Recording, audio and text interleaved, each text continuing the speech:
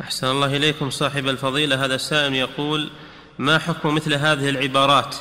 نقاتل فداء للوطن وشهيد الواجب وحب الوطن واجب. هذا كلام فاضي ما ما له. نحن نحب الدين. الدين أحب علينا من الوطن. قل إن كان آباؤكم وأبناؤكم وإخوانكم وأزواجكم وعشيرتكم وأموال اقترفتموها وتجارة تخشونها ومساكن ترضونها أحب إليكم من الله ورسوله وجهاد في سبيله فتربصوا حتى يأتي الله بأمره. والله لا يهدي القوم الفاسقين.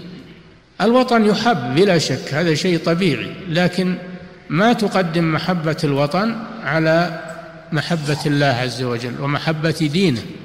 النبي صلى الله عليه وسلم هاجر من مكة وهي أحب البلاد إليه. هاجر بدينه ومكة أحب البلاد إليه. لأنها حرم الله وبيته فما منعه حب مكة من أنه يهاجر بدينه إلى المدينة.